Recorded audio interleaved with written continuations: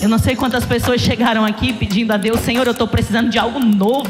E o Senhor diz: Eu vou derramar algo tão tremendo hoje sobre a tua vida. Há um orvalho de Deus para te consolar, uma chuva do céu para te regar.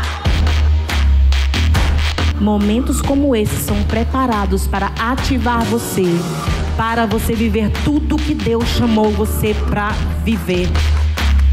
Seja o que Deus chamou você para ser, na instrumentalidade que Deus lhe deu.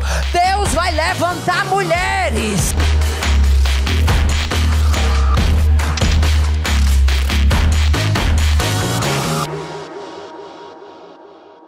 Nosso Deus é fogo, nosso Deus é fogo.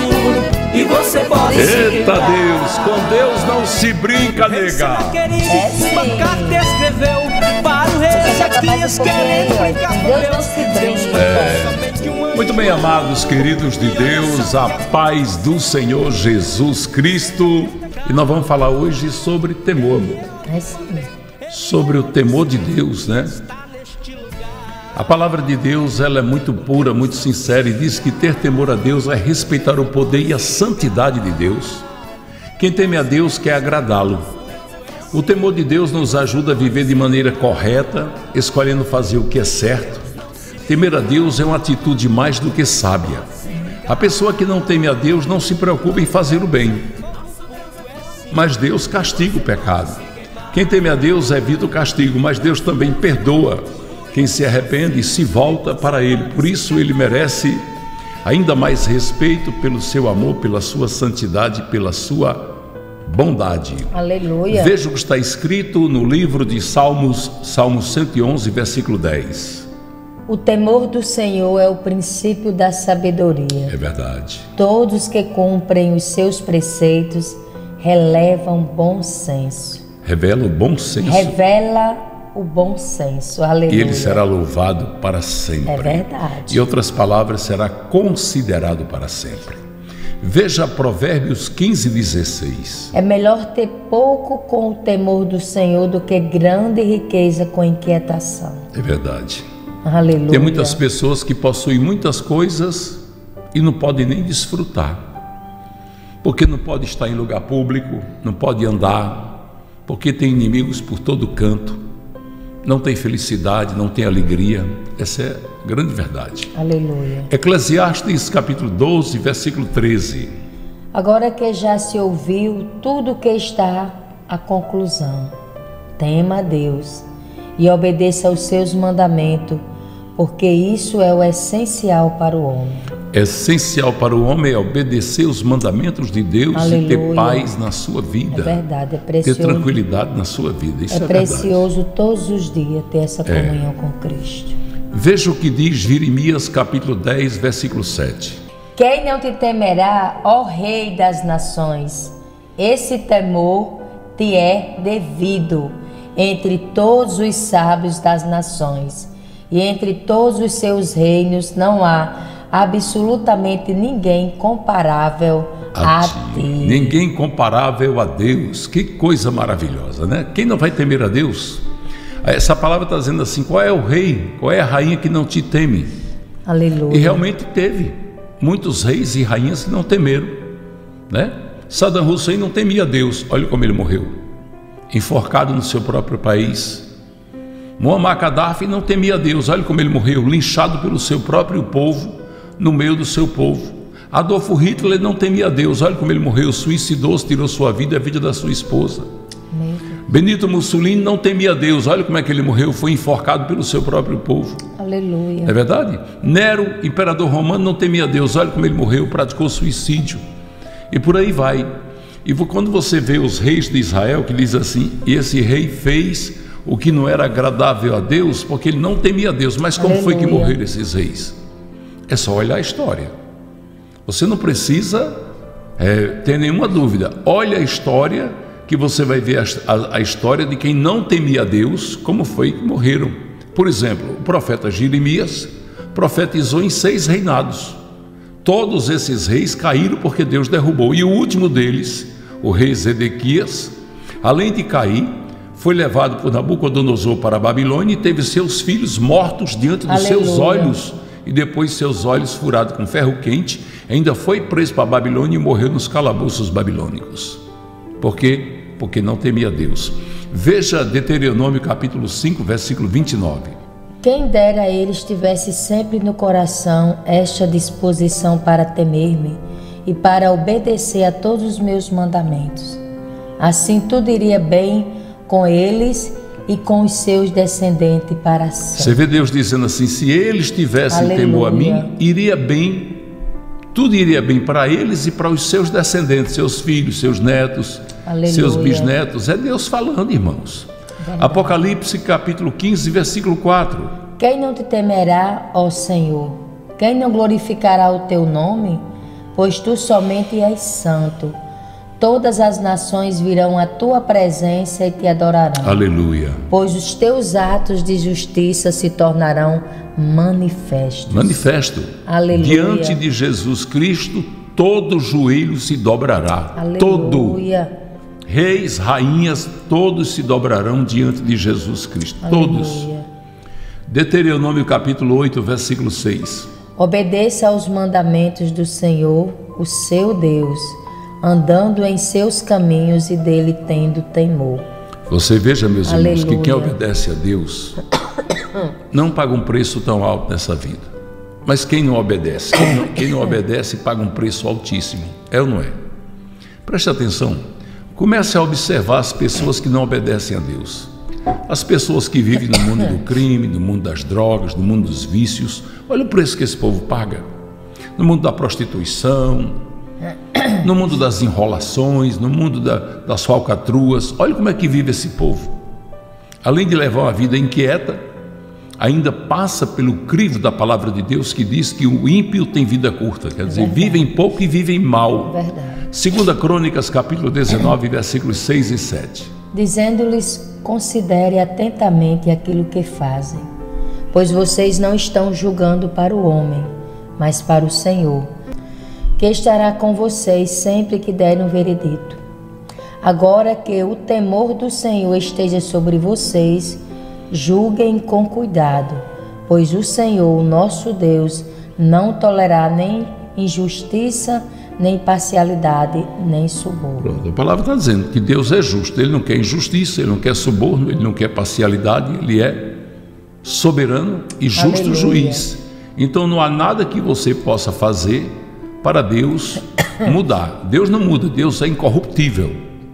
Por isso que quem anda com Deus tem vida abençoada. Eclesiastes 5,7. Em meio a tantos sonhos absurdos e conversas inúteis, tenha temor de Deus. A palavra está dizendo assim: olha, em meio a tantos sonhos absurdos, que é sonhos absurdos? Ganhar dinheiro fácil. Nós estamos vivendo uma época, amor, que muita gente está buscando fácil. É o joguinho de celular. Facilidade, É, né? é- é eles oferecendo 20, 30, 40, 50 reais para você jogar, se viciar e gastar tudo que tem. Olha o que é que acontece. Por não ter temor de Deus, você vê muitas famílias endividadas, cobradores na porta, agiotas na porta, devendo o que tem e o que não tem por causa de joguinho. Por quê? Porque não teme a Deus. Quem teme a Deus não entra em jogo de azar. Quem teme a Deus não cai nas ciladas do diabo, fazendo coisas inúteis. Olha o que é que está dizendo, presta atenção. Eclesiastes 5,7. Em meio a tantos sonhos absurdos e conversas inúteis, tenha temor de Deus. Que sonhos absurdos é esse? Tem gente que está jogando achando que vai ficar rico. E conversas inúteis. Toma o dinheiro para você jogar. Vai lá, você vai ganhar. As pessoas estão vivendo essas ilusões que o diabo lhe oferece, sem ter temor de Deus e pagando um alto preço por isso. Nós precisamos abrir os olhos. Nós estamos numa época de muitos enganos. Esse bichinho aqui, olha, o celular, trouxe o inferno para dentro de casa. Isso aqui é ferramenta de Deus para quem quer Deus. É o mundo. Aqui está o mundo. Você tem Deus, mas você também tem o diabo aqui. Você tem o poder de escolher se você quer andar no caminho do Senhor ou quer andar fora da presença dele. Veja Jó, capítulo 1, versículo 8. Disse então o Senhor a Satanás: Reparou em meu servo Jó? Não há ninguém na terra como ele, irrepreensível, íntegro, homem que teme a Deus e evita o mal. Você vê que Jó chamou a atenção de Deus. Que Deus disse, você viu ele? Ele é irrepreensível. Ele evita o mal porque teme a mim. Aleluia. E as pessoas que evitam o mal por temer a Deus estão livres de tanta coisa. Olha o que Jesus falou em Mateus 10, 28. Não tenha medo dos que matam o corpo, mas não pode matar a alma. Antes tenham medo daquele que pode destruir tanto a alma como o corpo. Jesus está dizendo assim: cuidado com aqueles que te ilude, leva você para a carnalidade e mata a sua alma. Por quê? Porque tirou você da presença de Deus.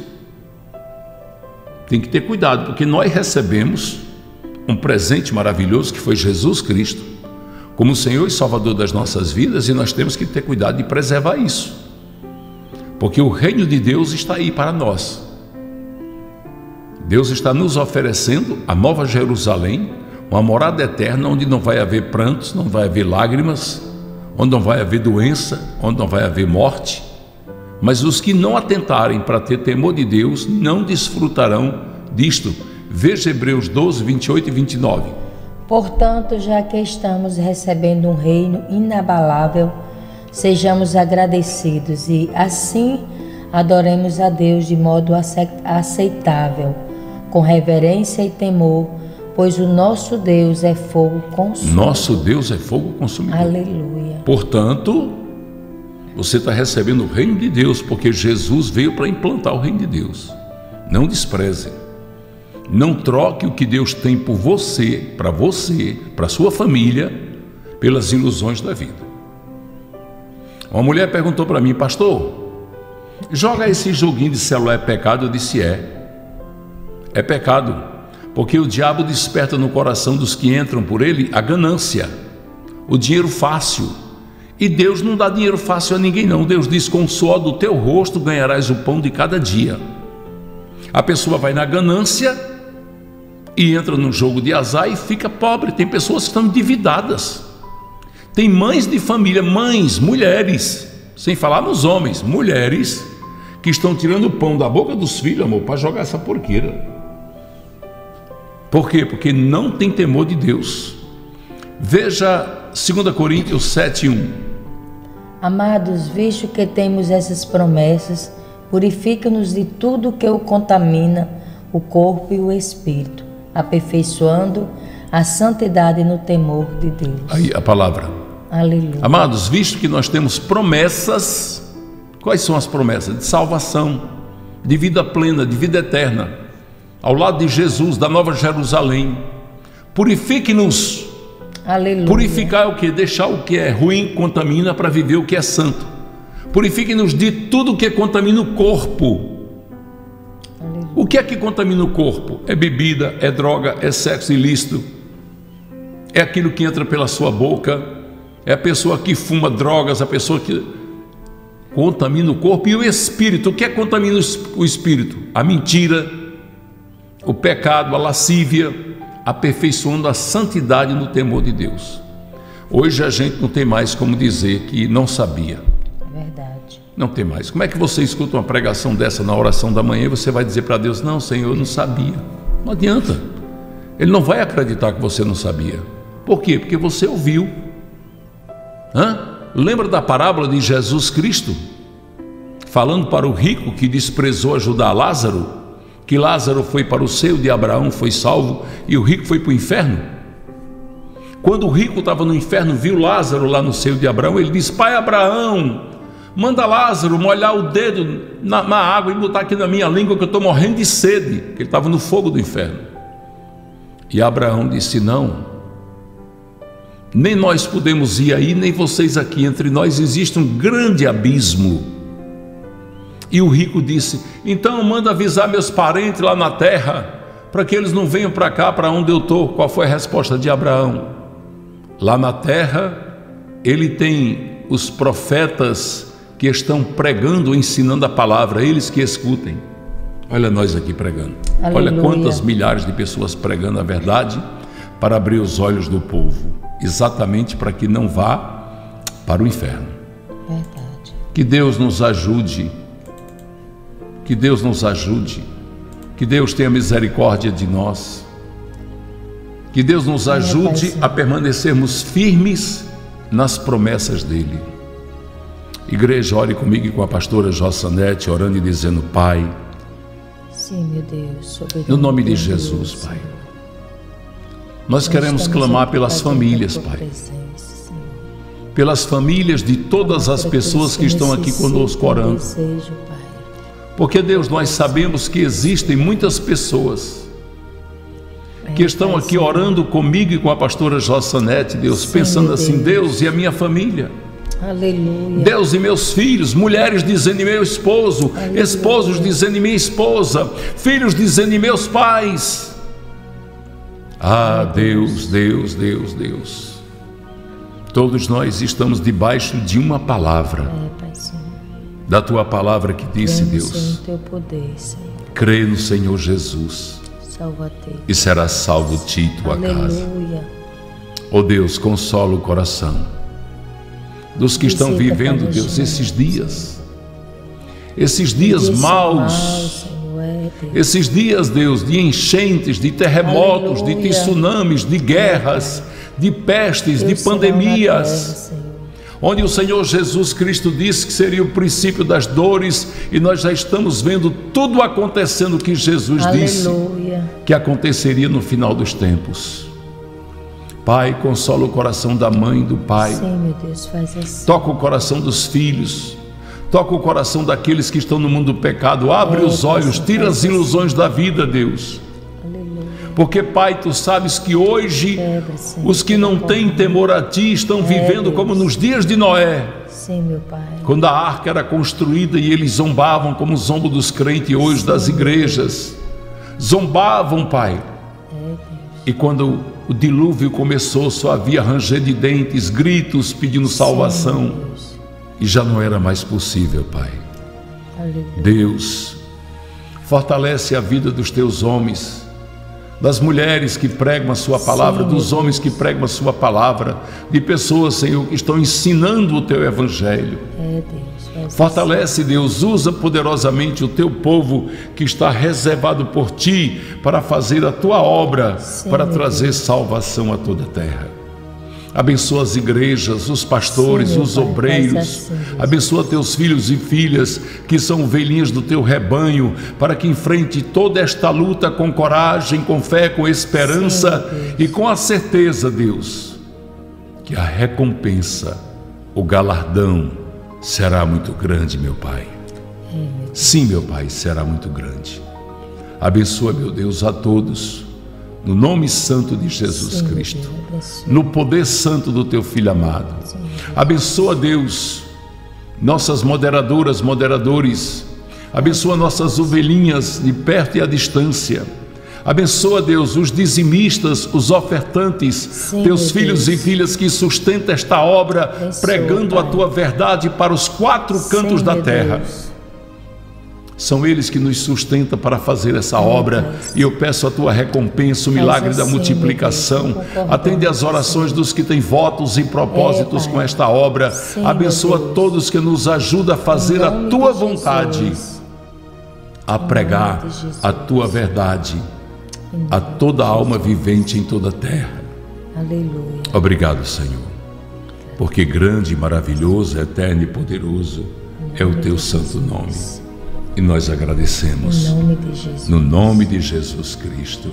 Amém. Em nome de Jesus, abençoa todos, todos que nos ajudem, que têm votos e Sim, propósitos, todos que desejam abençoar esta obra. É o que pedimos no nome de Jesus. Amém. No nome de Jesus Cristo, teu Filho amado. No nome de Jesus. Amém. Nosso coraçãozinho cheio de amor. Cheio de amor por Jesus e por vocês. Ó.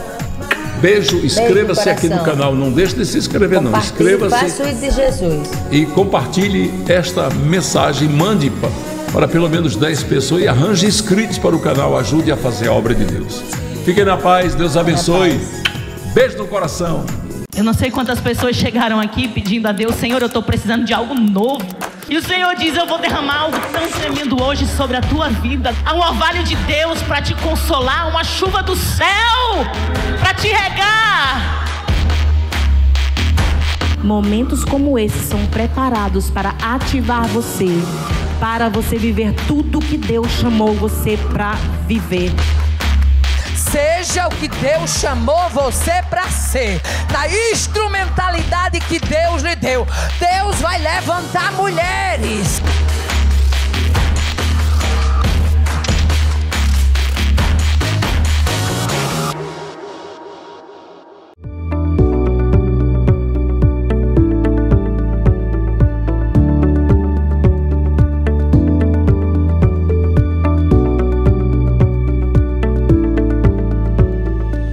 Imagine um lugar onde a esperança renasce e a transformação é possível.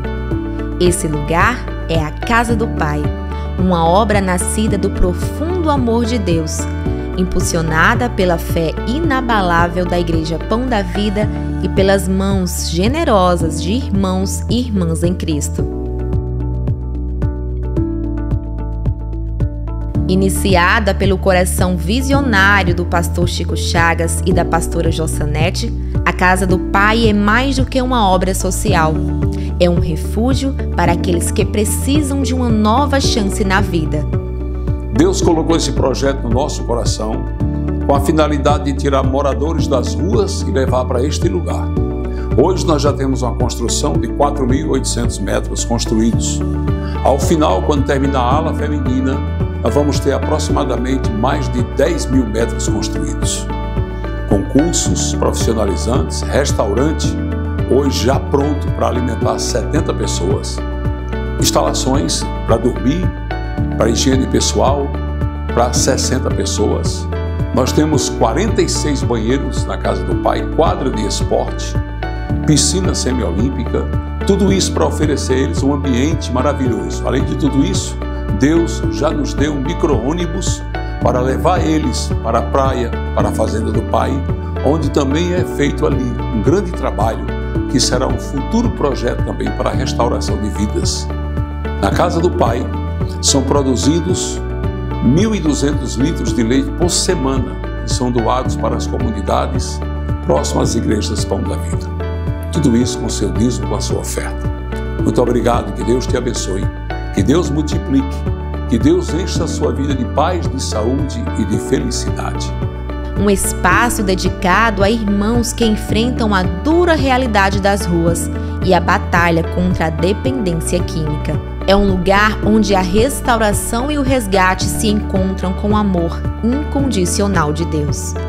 Cada tijolo colocado e cada detalhe finalizado é um testemunho da fé e do compromisso de uma comunidade unida pelo desejo de fazer a diferença. Graças às doações e ofertas de todos que acreditam nesse projeto, a Casa do Pai está se aproximando da sua conclusão. Mas ainda há um caminho a percorrer e muitas vidas a transformar.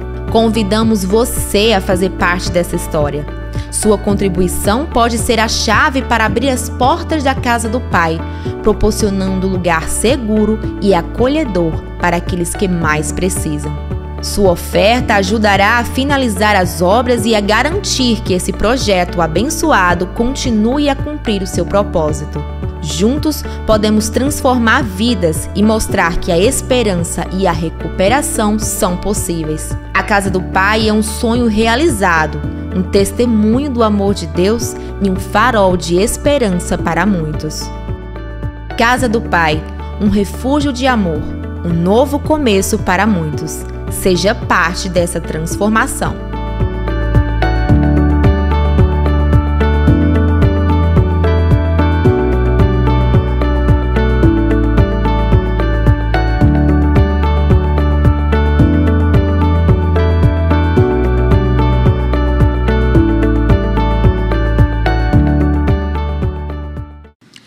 Mossoró, uma igreja evangélica chamada Pão da Vida está lançando um projeto social voltado para pessoas em situação de rua.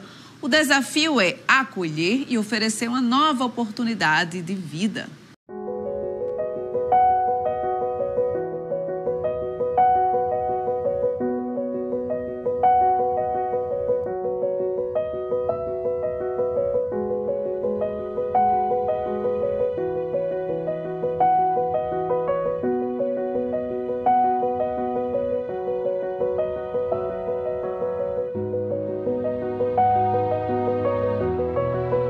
De acordo com o programa Consultório na Rua, em Mossoró, mais de 200 pessoas vivem em situação de completa vulnerabilidade. Gente como Magneide, para quem o endereço é a própria rua. Eu morei seis meses na rua, mas agora não estou morando mais.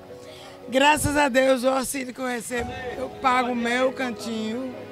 Mas esse homem maravilhoso é um pai. E eu preciso muito dessa alimentação. Para você faz diferença? Muita, muita, muita. A situação de Magneide está prestes a mudar. Ou melhor, essa história já começou a ser transformada. Isso porque a iniciativa da Igreja Pão da Vida abraçou o desafio de oferecer à população de rua a chance de um recomeço. Estamos na casa recém-inaugurada, construída para abrigar grupos que, por alguma razão, passaram a viver nas ruas. Toda vida que eu vejo uma pessoa na rua, sem rumo, eles andando assim, aquilo me dói o coração. E eu comecei já na época do Fusquinha do Amor, das mensagens, pegar um dinheirinho, fazer uma comidinha, levar para eles. Isso praticamente diariamente, pouquinho, mas ia levando. E às vezes ficava triste, porque o que a gente levava era muito pouco. Então surgiu a ideia de criar a Casa do Pai. Um espaço que pudesse abrigar uma grande quantidade. Aqui a gente pode abrigar 60 moradores de rua.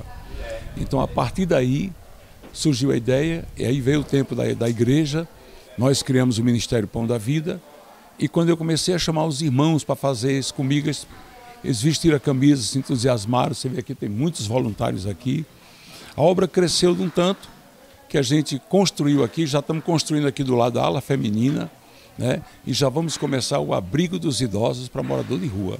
Aos poucos, eles vão chegando e ocupando espaço, com esperança de vida e uma decisão. João Gabriel, de 20 anos, foi o primeiro a chegar e ser acolhido.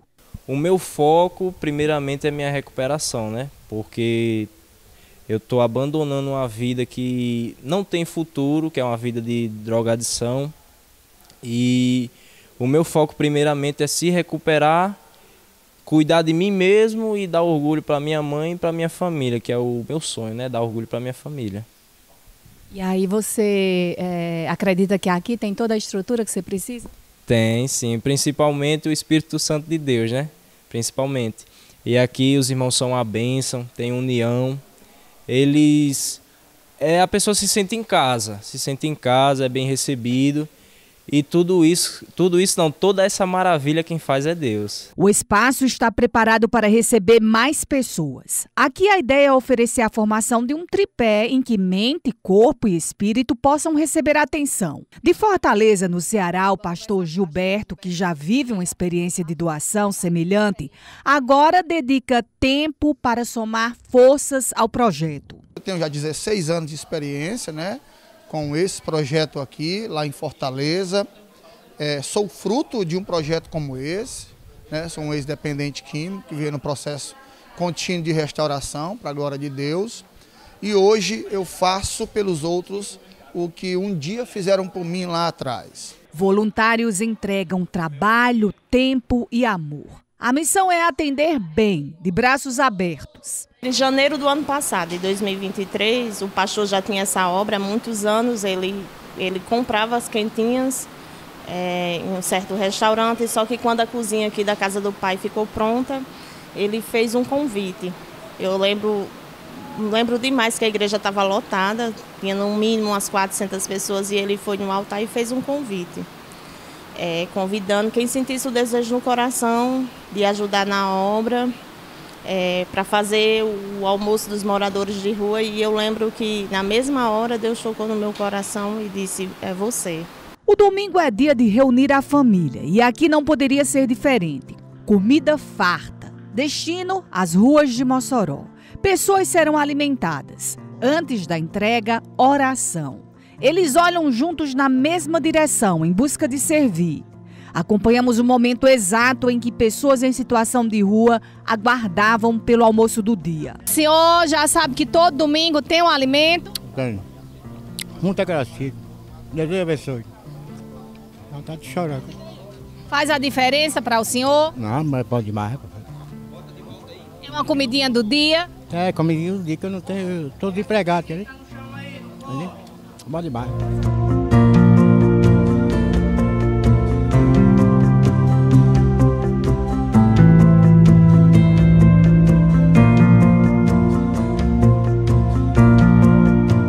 comida preparada lá na casa, quando chega até aqui e é entregue às pessoas em situação de rua, consegue alimentar o corpo. E o gesto ofertado pelos voluntários consegue também alimentar o espírito de quem vive em situação de rua.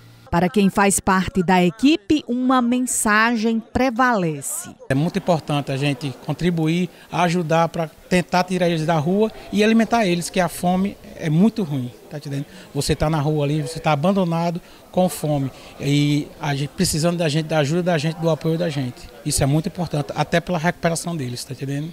A intenção do grupo é ampliar o atendimento, ofertar moradia, alimentação e olhar nos olhos dessas pessoas. É mostrar que é possível escrever, contar e viver uma nova história.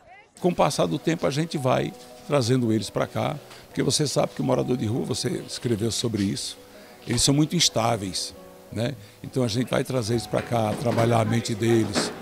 O futuro, aqui nós temos galpões, panificadoras, marcenarias, mecânica, vai ter que estar lá no torno mecânico.